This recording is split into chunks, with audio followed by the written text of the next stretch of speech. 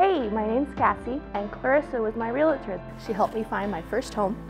Clarissa did an awesome job at making sure everyone was communicated with at all times.